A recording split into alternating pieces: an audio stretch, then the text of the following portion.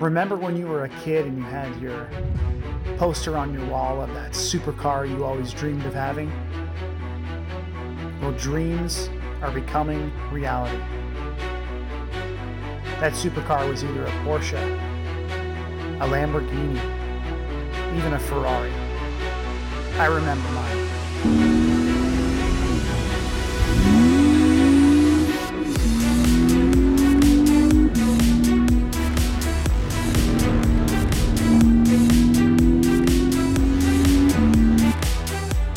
You get older, you go to school, things happen, you have to pay for things. You get married, you have kids, but that dream is still somewhere deep down inside. And then you get an opportunity because something catches your eye. Well, this 2018 Porsche Cayman is a million dreams and many years all into one. This amazing little 2.5 liter four cylinder turbo engine with 300 horsepower will move you from 0 to 60 in just about 4 seconds.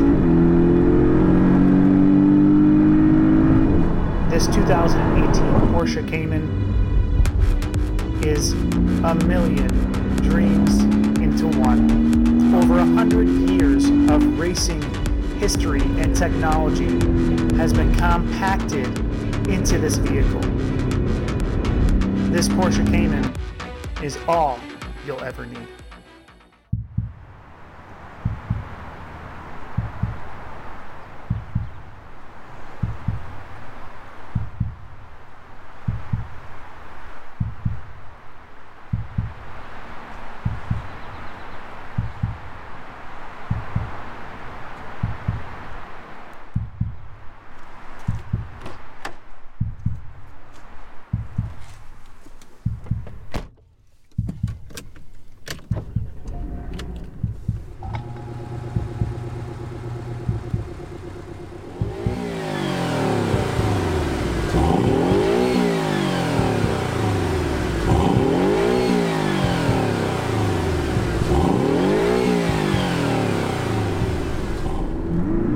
What's up, everybody? I'm Gino G, and this is 8 Speed Racing.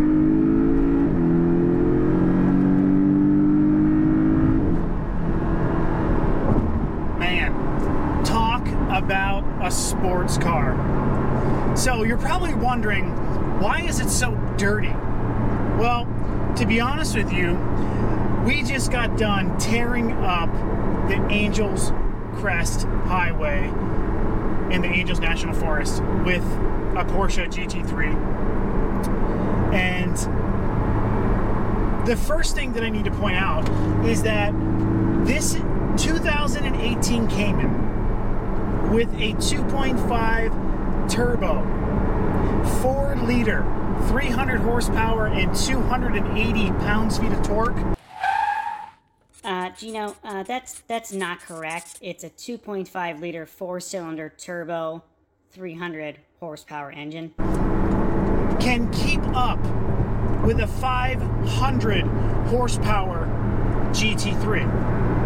And what I mean by that is that this little beast of a car that Porsche has made has completely surprised the hell out of me. But the second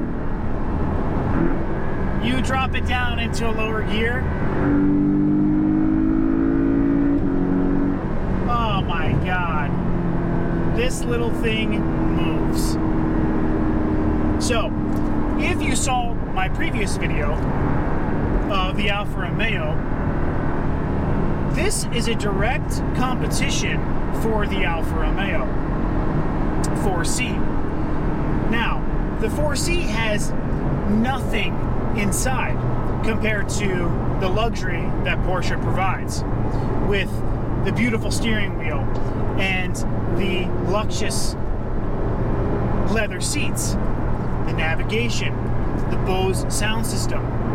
But at the same time, Porsche supports you with a PDK transmission that is by far the best transmission out there today in sports cars. All you need to do is push the sport button, click a couple shifts down, and let it romp.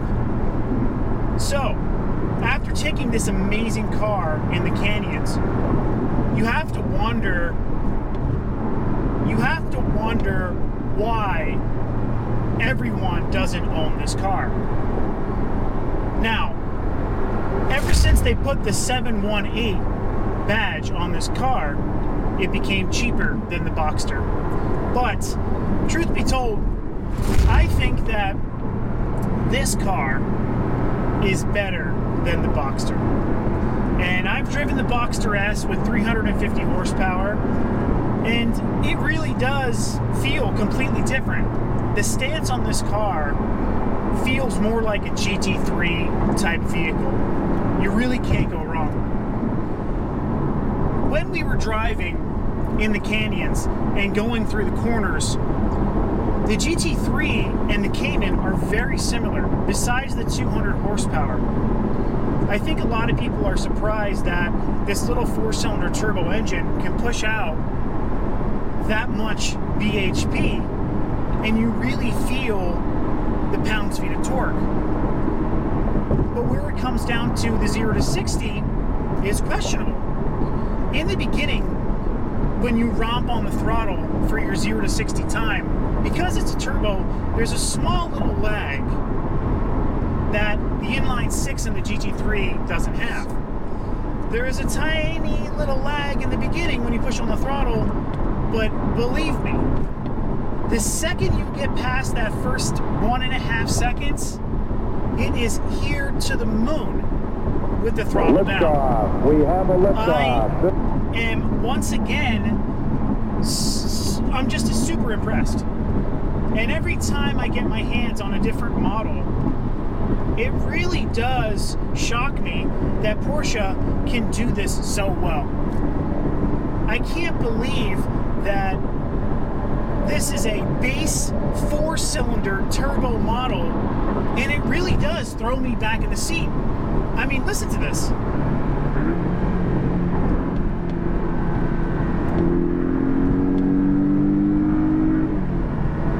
I mean, it hurts your ears. That's how loud it is. The other thing I want to point out with all the bells and whistles that Porsche provides for you in this amazing car, for around $68,000, this car with options, and it doesn't have many. You have your upgraded sound system, you have your nice leather memory seating, right? But let's just say you didn't want to drive it in sport mode all the time. Well, let's see. Okay. It becomes a grand tour. This little car you can take wherever you want to, with the front and the back, and especially the trunk space is more than a lot of other little sports cars. What's funny is this car competes with the C7 Corvette. I don't want to put it in the realm of the C8 because the C8 is a different beast, but you can really tell that this car just provides a different experience. And that's Porsche racing experience that they provide in each one of their models. Whether you're driving the Macan, a Cayenne, a Taycan, a Panamera, or a little Cayman like this. The second you get in, you have a smile on your face. You can't wait to, you don't want to turn it off. You want to keep driving and driving and driving. And that's exactly what we did today. For all of you that are interested in possibly buying your first Porsche, I'm sure you fell in love with the different models of the 911 and maybe can't afford a brand new one. I really have to say that I was never a Porsche fan, but after driving this car, if I wanted to start my little collection with Porsche and maybe couldn't afford the $100,000, $90,000 car, I have no problems with picking this exact model. It does everything you think it's going to do and better. Not to mention the 21 mile per gallon on the city and 28 mile per gallon on the highway, do I need to say more?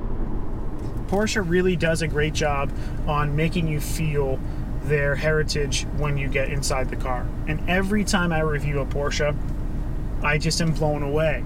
Today was an important day for for me to see what this car can really do.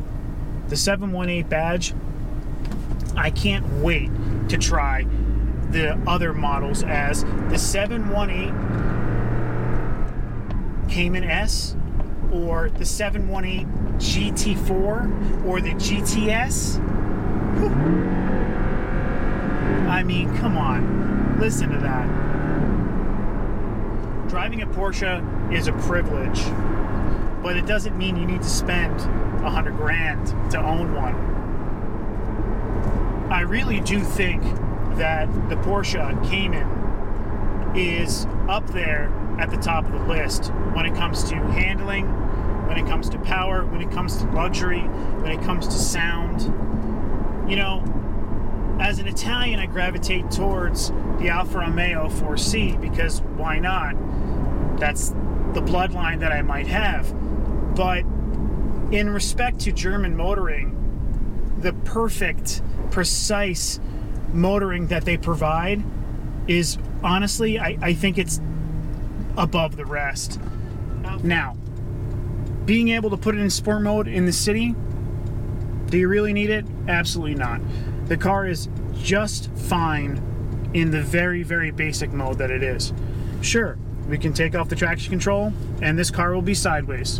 And Porsche still has an ability to make the rear wheel drive car stick to the road without any problems. The other feature that I love is the wing. If you want added stability to your driving experience, here's the button, push it, and the wing pops up. There it goes. Now, the cool part is knowing that Porsche provides such a stability in every driving experience you really, really can't go wrong. So, let's see what this bad boy can do.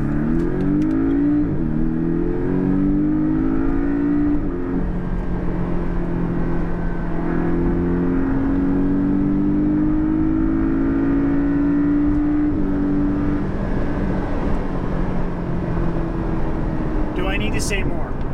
What are you waiting for? Go buy a Porsche Cayman. You don't even need to spend your money for the more expensive ones. I mean, this car really does shock you at every turn. And then the best part is, you look good doing it. You can say, hey, I own a Porsche. Which one? Cayman. Someone might laugh at you until you get in and start the car. If you enjoyed this just like I did, what a day it was. If you're looking for an amazing price on a car that feels like a couple hundred thousand dollars, then the Porsche Cayman is the car for you. And remember, you don't even need to buy the bigger engine because this four cylinder is just enough. Guys, I'm Gino. This is 8 Speed Racing. Tune in next time. If you like what you see, go ahead and like and subscribe and keep this channel running. I look forward to the next video because that is what we're doing. We are doing it and doing it well.